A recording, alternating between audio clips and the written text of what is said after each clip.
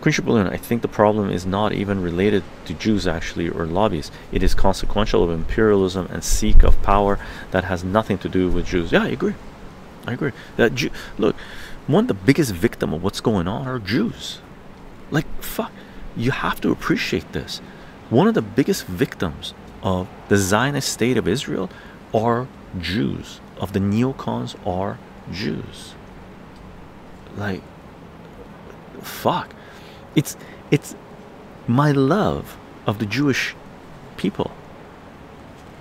One of the reasons that I'm speaking out against what's happening because I treat everyone the same Palestinians, Iranians, Russians, Ukrainians, Americans, Canadians, Germans.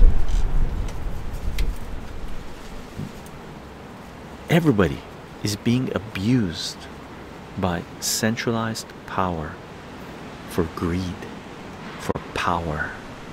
Okay, we know who they are. How are we going to deal with them?